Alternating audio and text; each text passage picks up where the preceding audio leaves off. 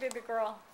So this is a four-month-old Myra Angela who needs a haircut. She's her hair is longer than mine practically.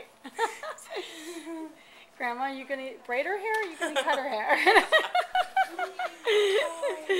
She's adorable.